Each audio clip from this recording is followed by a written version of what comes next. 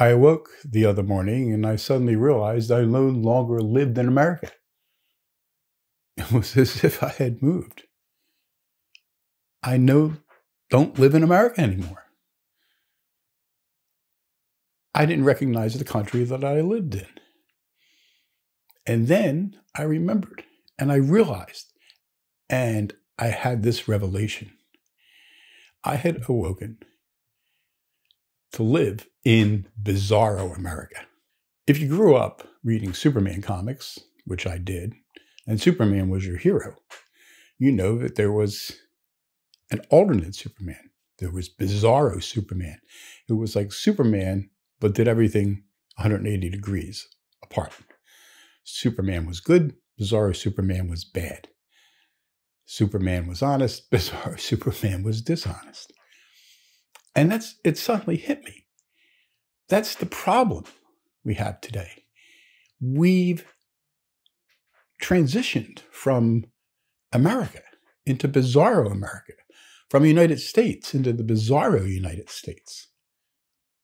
And that's what our countries become. And I no longer like it. I don't love it anymore. I was born in 1951. I grew up loving this country. My parents loved this country. My father quit high school and never did finish to go off and fight earlier than he had to in the Second World War. He served in the North Atlantic, the Mediterranean, the South Pacific. My uncle went to war. Other relatives went to war. My grandparents loved this country. My one uh, great grandparent that was alive when I was a kid, she loved the country. We all loved the country. And then I got to college, 1969, over 50 years ago. And I found myself struggling with forces, professors, who were trying to make me hate this country. Not most of my professors, by no means all of my professors, but quite a few. I had a uh, left leaning professor who took taught a course that I took. It was called American Imperialism. And That was the whole point of the course to convince us that we lived in an imperialist society, an imperialist country, an empire, an American empire. Everything we had to read, everything we had to do in that course was designed to convince us of just that. I had another professor taught me modern Russia. He was a communist. I mean, this was 1970, 71. This is after uh, Dr. Zhivago, the movie, had come out. David Lean's great movie.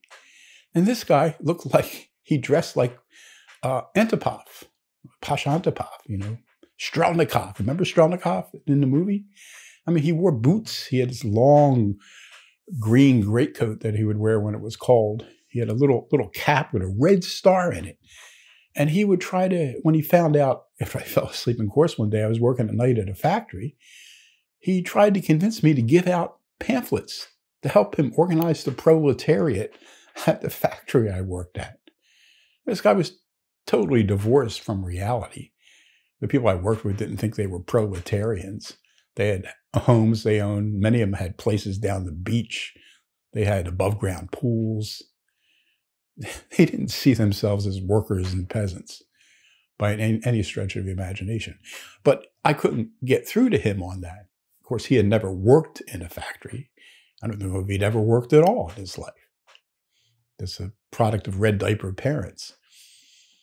I had a, a, another professor, you know, all we read, it was English. And we didn't we did everything but English. It was all political tracts we had to read, condemning the country, condemning its policies, condemning this, condemning that. It was really difficult for me not to develop a hatred of this country. And they did drag me to the left. Ironically, the only thing that kept me from going all the way to the left, and I've talked about it before, I'll link to the video here, was getting to know some of the people in what in my day would be called today Antifa. And when I realized how these people's minds worked, what they wanted for this country, what their inclinations were, I realized that as bad as our country might be, relatively speaking, the last bunch of people in the world I would want to see running it was this group because they literally, the one guy, the leader of a group told me if people didn't, you know, get into line quickly, they line them up against the wall and start shooting. That's where we're at today. Despite my efforts to resist this, despite the efforts to resist it when I got to academia and I was, I was a, a conservative fish in a, in a sea of liberals and progressives. It was awfully hard not to just give in and go along and to yield. The pressure to yield was enormous. You'd be so much happier, be so much more accepted, so much less loathed. I mean, I used to sit in my office, my door, and I could hear discussions, not about me personally, but about Republicans in general or, or people who supported uh, George Bush or liked Ronald Reagan you know, what should happen to them all, what the cretins they were. You know, if, if I had been black or a woman or a lefty, I, and these people were conservatives, I could have accused them of microaggressions.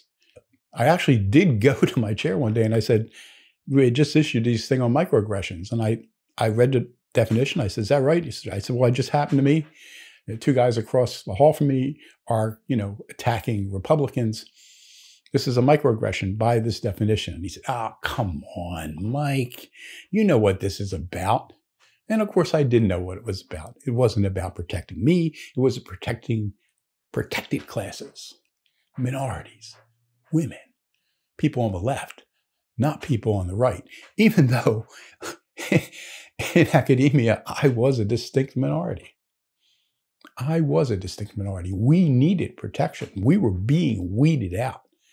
As I've said before, when I got to that department, 20% of it was, I would say, conservative. It's about 4% now. And I think that's been the trend over the last 30 years almost everywhere. And that's why I've come to realize that the America I love is gone. Progressives have systematically destroyed it.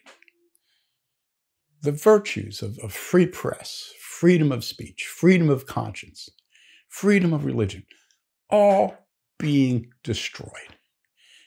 It's all gone. The sanctity of our elections, gone. Superman's gone. We're left with Bizarro Superman. America's gone. We're left with Bizarro America. And to quote the Reverend Wright, I don't God bless America. God damn America. God damn the America that progressives have created to replace the America that I grew up loving. God damn this America. It's over. I'm done. They destroyed what I loved, and I'm not going to love what they've left in its wake. For me, it's that simple. That's what I think. What do you think about bizarro America? Let me know in a comment. Like the video, give it a thumbs up. Hated it, give it a thumbs down. Subscribe to the channel if you like. Hit the notification button so you know when I post new videos. Share the video with your friends. And until the next time, keep fighting.